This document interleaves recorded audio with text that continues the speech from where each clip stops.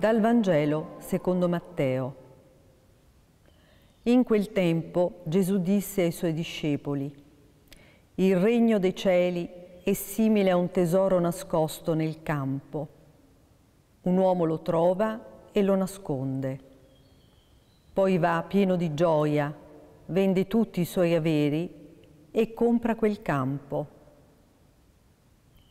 Il regno dei cieli è simile anche a un mercante che va in cerca di perle preziose. Trovata una perla di grande valore, va, vende tutti i suoi averi e la compra.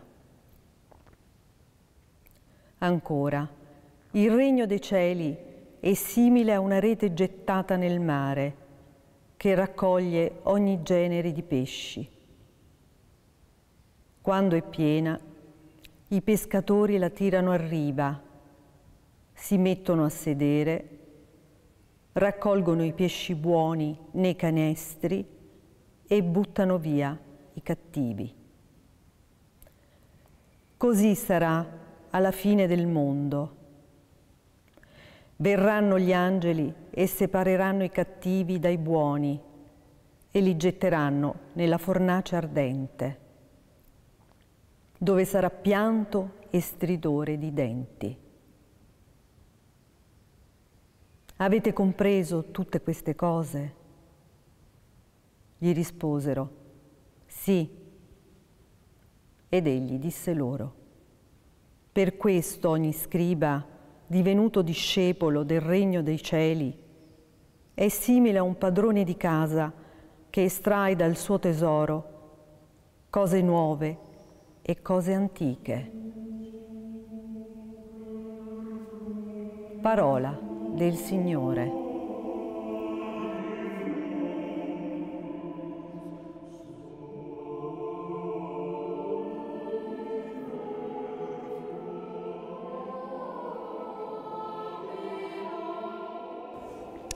Siamo alla fine, diciamo, siamo arrivati alla fine del discorso delle parabole e ancora una volta ci vengono proposte tre parabolette eh, parabolette nel senso che sono piccole, sono brevi, non, che, non, va, non hanno valore, eh, che sono abbinate a una prima lettura molto bella oggi, quella del re Salomone, che è diventato re molto giovane, riceve da Dio una richiesta, un po' tipo il genio della lampada, dimmi che cosa desideri e io te lo darò.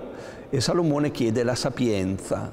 E Dio apprezza molto questo, la capacità di ascoltare, dammi un cuore capace di ascoltare, dice Salomone, cioè di scegliere le cose giuste, di fare il bene, eh, era diventato re, il bene del mio popolo. Che bello, eh, se avessimo dei politici così, che cercano il bene del popolo, il bene di tutti. Ecco, ma questo vale anche per ciascuno di noi, anche noi abbiamo bisogno della sapienza per scegliere ciò che veramente conta. E nelle parabole Gesù racconta di questo incontro, l'incontro di una persona con un tesoro, un tesoro nascosto in un campo.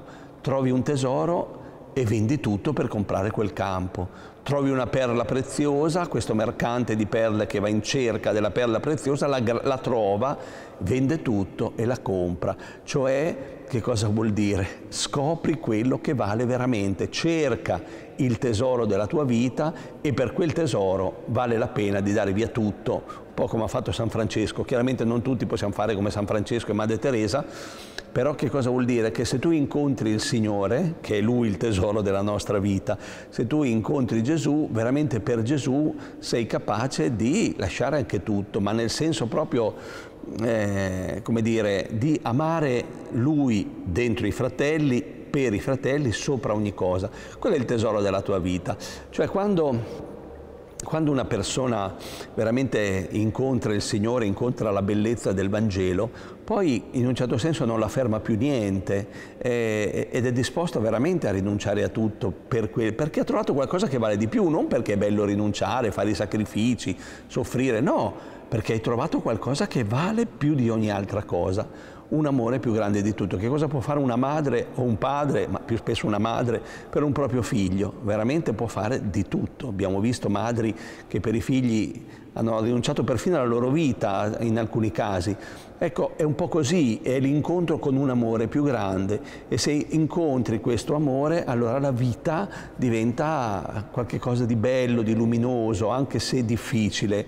Eh, e vedete poi c'è un'altra parabola, un'ultima parabola, quella dei, dei, pescatori, anche questa era una scena molto comune, eh, alla fine della pesca i pescatori prendevano i pesci e separavano quelli che erano secondo la legge e quindi si potevano vendere e altri pesci che invece non erano commerciabili, diciamo, perché non ammessi dalla legge, quindi separavano i pesci buoni, cioè i pesci eh, dire, eh, vendibili, dai pesci cattivi, i pesci che non, nessuno avrebbe comprato. E anche questo diventa per Gesù un'immagine, l'immagine della fine del mondo, alla fine.